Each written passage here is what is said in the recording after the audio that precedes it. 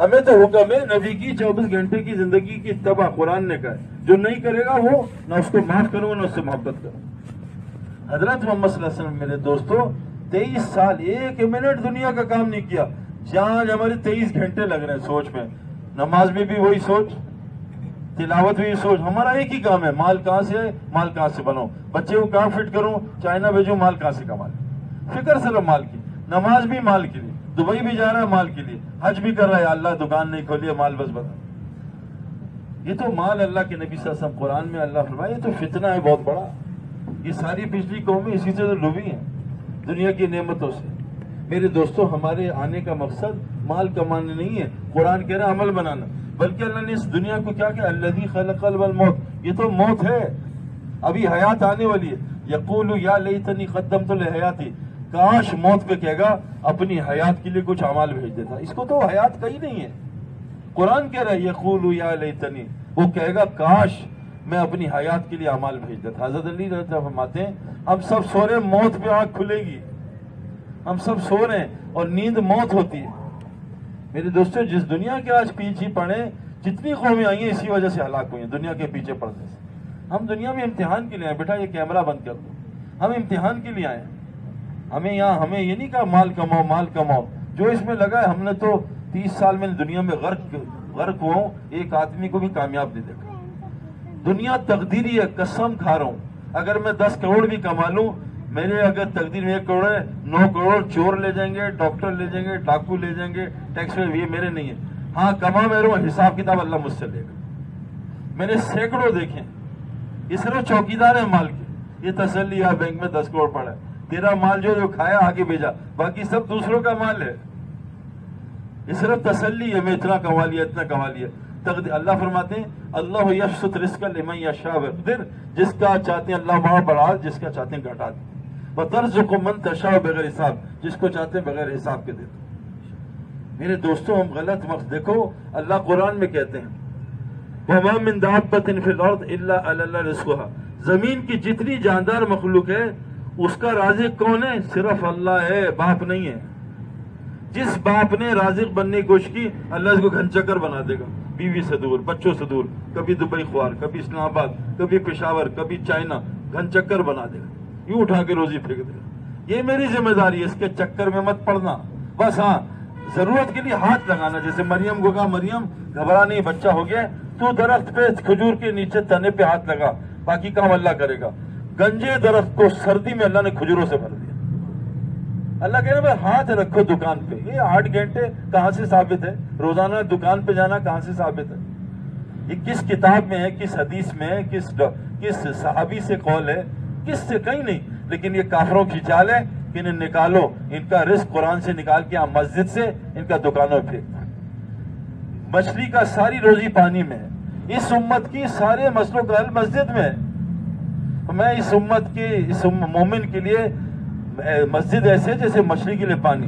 मोमिन मस्जिद छोड़ेगा, तड़पेगा तो इसको काट के कोई पखाना बना देगा। आज पूरी दुनिया में मुसलमान खुआर हो।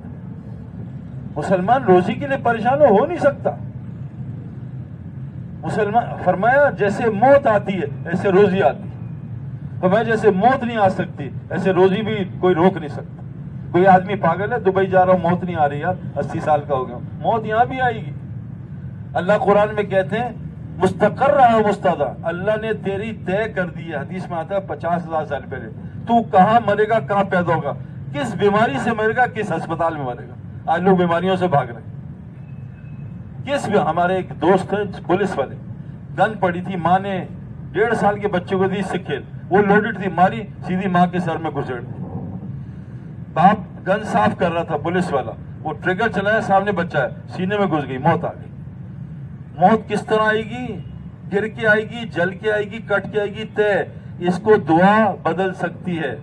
इसको दुआ बदल सकती है। इसको मेरे दोस्तों, सदका बदल सकता है। अल्लाह के नबी से समाया अगर तुम बुरी मौत से बचना चाहते हो, एक साहबी नाबीना थे। तो घर से उठे एक साहिल आया, कुछ खाने को है, उठाया खाना, अपना उसको देने लगे।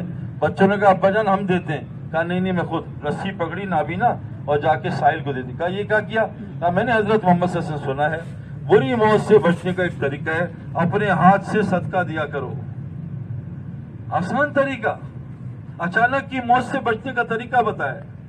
ऐसी बीमारी जो तंग आके जान लेवा बन जाए, उसकी दुआ बताइए। हम आज काफरों की तरतीब पे चल रहे हैं। लेकिन याद रखना, ये पंखा बिजली के साथ वादा है। ये कुरान की शिफा तकवे के ईमान के साथ वादा है। अगर मोमिन हो गए तो कुरान से शिफा मिलेगी। सही हदीस है, जिसको कुरान शिफा न दे, उसको कोई दवा शिफा नहीं दे सकती। सिर्फ़ शिफा का धोखा है। ये दर्द खत्म होगी, यहाँ निकल आएगी। एक एंटीबायोटिक खाएँगे दस नए मर्ज आ जाएँगे। क्योंकि दुनिया भर डॉक्टर कहते हैं, एंटीबायोटिक का बड़ा ज़बरदस्त साइड इफ़ेक्ट है। ये एनके जो लगी हुई है एंटीबायोटिक। मेरे दोस्तों, ये सारा निज़ाम ये क्यों कि ये हमारा दिल अंधा है? हमने इसकी मेहनत नहीं की। दिल को बनाने की मेहनत। दिल कैसे इसके अंदर? देखो, रमज़ान का मकसद क्या? तकवा आ जाए। हज का मकसद तकवा आ जाए। अल्लाह के नज़दीक कौन है सबसे बड़ा? इन्ना करामकुम इंदल्ला है मेरे नज़दीक तुम में सबसे बड़ा तकवे वाला है। यानी नॉलेज बहुत है, कुरान, हदीस की नहीं। बहुत साल लगा नहीं। अल्लाह के नज़दीक सबसे बड़ा दर्जा और मदरसा और तबलीग और तस्किया सब वजह ही तकवे की है, कि तकवा आ जाए तकवा नहीं आ रहा, कोई फ़ायदा नहीं।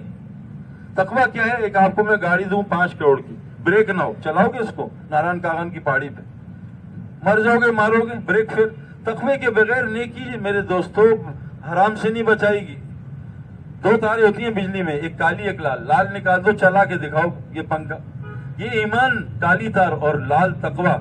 जब तक ये दो साथ नहीं मिलेंगे आमन व तकव अगर ये बस्ती वाले ईमान और तकवा बना ले लफाता ने लेहिम बरकत मिनसाना अल्लाह ज़मीन आसमान के सारे दरवाजे बरकत के खोल देगा।